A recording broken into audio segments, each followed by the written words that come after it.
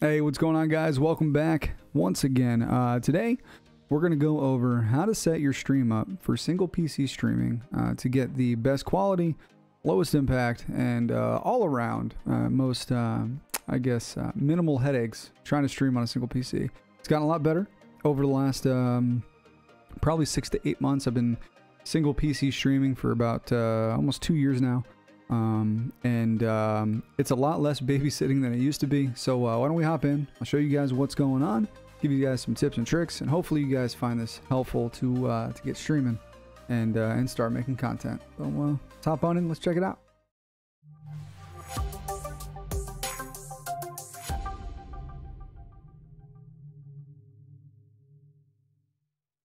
All right, guys. So there's a few different things we're going to cover today. Uh, main thing is going to be the encoder, uh, setting that up and getting the stream to kind of run flawlessly without you have to worrying about anything.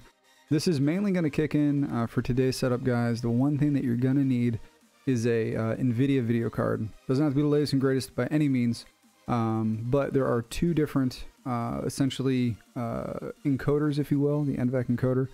It is, it's, in, it's NVIDIA's encoder, um, and to kind of clear up a few different things. Um, you've got uh, dedicated chips on the GPU, okay, that will encode your stream. It doesn't use the GPU itself, so it's not going to uh, impact your actual gameplay. Sans um, two to four, two to five percent of your your GPU's uh, usage uh, and I'll get into that a little bit later. Where it does impact your GPU, uh, your video card in general, is the amount of memory that you use or the amount of memory that it uses. And there will be some games. Um, the one I have the most problems with um, is the new Modern Warfare. That thing eats memory for breakfast, lunch, dinner, and like everything. And so with that game, I have had encoder crashes in the past. Um, so depending on what you're playing, so far that's the only thing I've had a problem with. Apex, um, Tarkov, uh, Astroneer, um, World of Warcraft, Kerbal, uh, a bunch of other games, no problems whatsoever. Modern Warfare, I don't know what they're doing, but they're doing something with uh, with your memory. So that's really the only thing you really have to watch out for when it comes to single PC uh, streaming in that in that regard. Uh, so first thing you're going to do is you, you know you have OBS installed, right? I'm using uh, OBS uh, 24.0.3 for this. You do need the latest um, uh, version because what you're going to do is you're going to right click when you run the program and you're going to run it as an administrator. And what that's going to do is that's going to do the first step to make uh, your life much easier because it's going to allow OBS to reserve a certain amount of GPU that it needs to make sure that your stream always stays at 60 FPS or at 30 FPS, whatever you have it set to, right? So first things first, run OBS in administrator mode uh, to make sure your stream stays like butter. Okay. So up next is setting up your encoder. So we're gonna go to settings. I'm gonna try to uh, keep this over here. Since I'm having uh, OBS as the background, I went ahead and put my camera over my preview. So this way we didn't get like, you know, the Inception forever kind of thing. Um, so yeah, so I'm going to try to do my best to keep everything out from behind the camera. Okay, so first things first, you want to go to output and you're going to have a few different tabs, right? Uh, when you set this up the first time, uh, it's probably going to be set on X264. If you go to this drop down, I can't do it right now because I'm recording.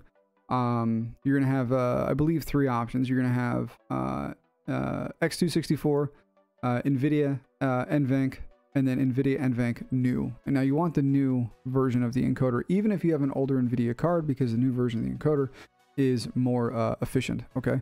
So make sure that you set it to that. For your rate control, I always leave this on CBR.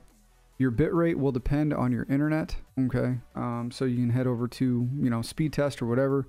Check your upload, not your download, check your upload uh, and then set yourself um, like 60 to 70% of your max upload is about as far as you want to go to make sure you maintain stability on that. So, um, and then the other side of this, and this goes into bitrate as well as resolution.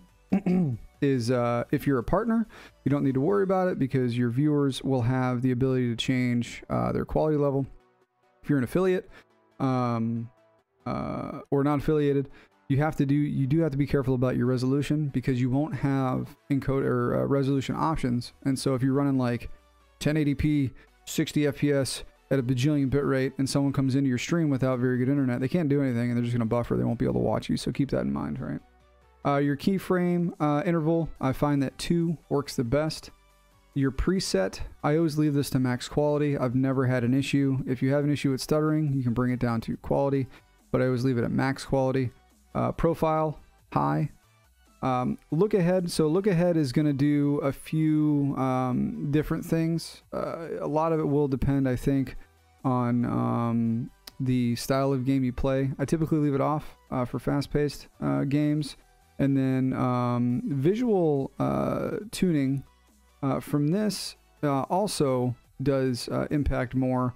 Um, as it tries to optimize it uh, for faster paced things. It will increase uh, GPU utilization a little bit, but uh, it can result in a much better uh, picture uh, or image quality uh, in the long run. From what I've seen personally, having this on or off hasn't changed my performance whatsoever. So I think it's just in there for like legal crap. Uh, GPU, Uh, this doesn't matter so much. If you have multiple GPUs, you can select either or. How the NVIDIA NVENC encoder works, however, is you want it to encode off the same main GPU that's encoding your rig, uh, because if not, then it has to send it through the PCI bus to get to the other uh, GPU, um, and that's not good because it's it adds latency. So um, I typically leave this to zero, and then my max B frames I leave that to uh, I set that to two. Um, so that's kind of what I do on the encoder side, and this gives me a stream that is 1080p, uh, 60 FPS, uh, and when I've done a lot of tests, it rivals um, a machine that's on um, uh, X264 medium preset, uh, which is cool. Um, I do run slightly higher bitrate. I'm not going to say what I run. Yeah, so there's that. Uh, and then, so that is for the output. For video, uh, this part here is important, guys. So depending on your CPU and depending on what you've got going on, if you run a game, say at 1440p, and you want to stream at 1080p, uh, you have your base canvas and your output. You want to make sure that your base canvas and your output match because if they don't match, your CPU is going to take an additional hit because it has to actually scale stuff and change it. So anytime that you guys can, run your base canvas the same as your output. So even if you run at 1440p, that's fine. Play your game at 1440, but make sure when you set up all your scenes in OBS, you set it up while it's set to 1080 because if you don't, it's going to skew everything. So um, that is uh, my two cents on the um, uh, the video uh, output. Uh, obviously, this stuff here is just your Twitch login, no big deal. Now, uh, one of the other things that I do when people uh, say, like, you know, I'm sure you're watching this video, you're like, Carto, what the? Why are you using light mode? Oh my goodness, this is terrible. I use dark mode in everything. I mean, you can even see it here in my stream information. It's on dark mode. But I don't like key lights. They're terrible, in my, my opinion. I don't like like a beaming bright sun next to my camera. So I actually use the uh, the the the ambient light from uh, my OBS background and drops. Um, I got this tip from uh, Activater. Check him out. It's cool, dude. Um, uh, Twitch.tv slash Activater. Uh, but uh, so uh, if you change your theme in here to dark, you're like, this is what happens. I just lost all my light, and now my scene is actually pretty dark. So I do leave this on system. So now you guys can actually see me. Uh, and it's not overly, overly bright. It's a little bit brighter now because I've got a preview up over here to make sure I don't put anything behind the camera. And I've got it over here, so I'm getting like, like hit like twice. So uh, typically it's not too bad, but there's that. So that's going to be um, in the general setting. So we went over the encoder setup. We went over the video setup.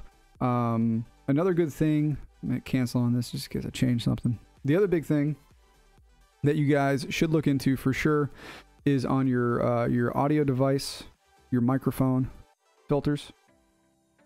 I run a few different things.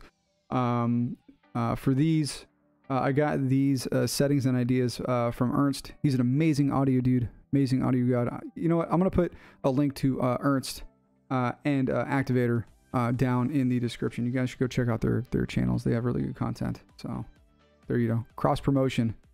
Holy crap! Who would have thought? Um, so uh, for this, uh, for this, uh, I run a noise gate, I run a compressor, and I run an EQ um, just to uh, get my voice where I where I essentially want it. So the noise gate, for those who don't know, if I turn this off, uh, and now there's like background there. Let me turn the fan on.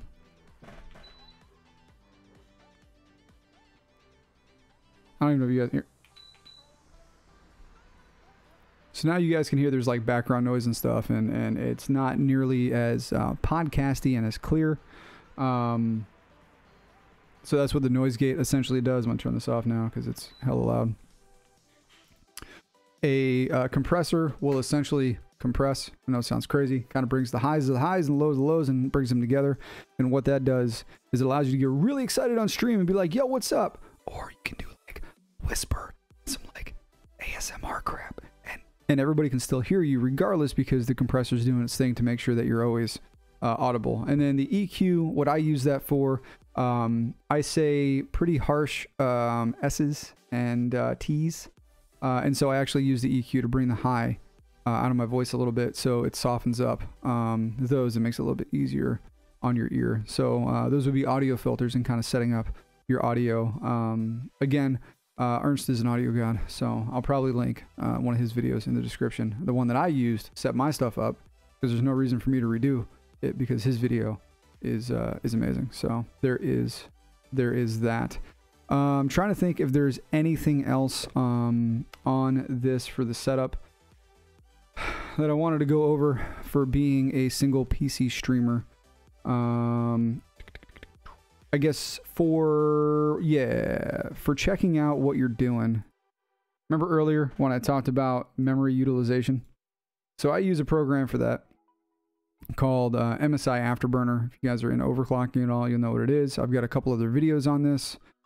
I'll throw those in the down below as well. But uh, for this, guys, essentially what you're doing is in the monitor monitoring section, you have the ability to see memory usage of your uh, GPU. Okay, and so in here, in here's some memory usage. So right now I'm using two gigs of my VRAM, uh, VRAM or video RAM, the memory on the video card. Uh, and that is to run the NVIDIA encoder for the stream as well as I think I, I use about a gig passively just because I've got uh, three screens uh, running at 1440. Uh, I think they're all 1440 right now. This one may be 1080, but either way, it doesn't matter. Um, and so that's why I've got the usage. Now, when I go to play a game, um, what do I have here that I can actually open up really quick? Uh, here. I was just doing some Tarkov stuff, so I'll open up Tarkov again. Hopefully, uh, doesn't go too, too crazy. We may lose um, this background, but that's fine. I'll have charts and bars and stuff as soon as this thing loads. So when you go to load a game, however, what's going to happen is that memory usage is going to increase. There we go. Uh, and so now you can kind of see here, uh, right here, middle of the screen. Sorry, the, the frame rate in the game is, is pretty rough, so it makes everything look pretty rough. Um, but uh, as you can see that we're climbing. Now we're at like 3 gigs of uh, memory used, and then it'll go higher, four, five, six, whatever it gets to. I forget exactly where Tarkov lands at. And different games are going to use different amounts of, uh, of memory. So you can use uh, MSI Afterburner uh, as well as uh, Riva Tuner Statistics server to kind of monitor that and keep an eye on it. This overlay, I usually, I, I obviously don't keep these graphs up. Typically, uh, what I run with when I um, when I stream uh, is without the bar graphs, and then I actually shrink all that down. And so in the top left corner, I have my GPU, CPU, uh, temperature of my uh, coolant, and the uh, water cooler hard drive temps or SSD temps, and then frame rate. Uh, and so typically what I'll look at is this number right here, which is the amount of video RAM I'm using. Because I know if I go up to like 7 gigs of VRAM used, my stream is going to crash. It is the one big gotcha uh, that still happens for single PC streamers. But again, right now, Modern Warfare is the only game I've ever had it happen in. No other game has given me an issue, just Modern Warfare. So take that with a grain of salt. All right, I think I think that about covers it, guys. We went over uh, encoder setup. We went over um, the video output. We went over uh, light mode, quick audio stuff that I'll link in the bottom, and then uh, things to keep an eye out for for your encoder. And that should just about cover it. So again, one of the beauties of the NVIDIA encoder is it lets you do a single PC stream without having to worry about um, you know, heavy CPU usage and, and robbing your stuff. And it's really, really helpful in games like uh, CSGO that are super CPU dependent. And your GPU is usually sitting there like taking a nap anyway, but you're still at like 500 frames. And that's really where this stuff kind of can come in, as well as other games. Um, I've played Borderlands, Astroneer, Tarkov, WoW, Modern Warfare, sans stupid memory issues. Um, uh, Sekiro, a lot of different games, uh, single PC stream, and it runs great. Constantly get compliments on stream quality. And if you go through the steps and you do your homework and you make sure everything's set up, um, it's it's really not that hard to uh, to get it set up and make it so it's PogChamp with just what you have sitting next to you. It's all about knowing uh, your setup and and really how you kind of want to position your thing. So um, so yeah, so that's it. Hopefully you guys enjoyed it. If so, please like, subscribe, all that crap. Catch me live, twitch.tv Carto, as you can see down below over here somewhere. And uh, and thank you guys so much. I appreciate it. I'll ask you guys stay humble, be excellent to each other, and uh, we will catch you guys in the next one. Peace out.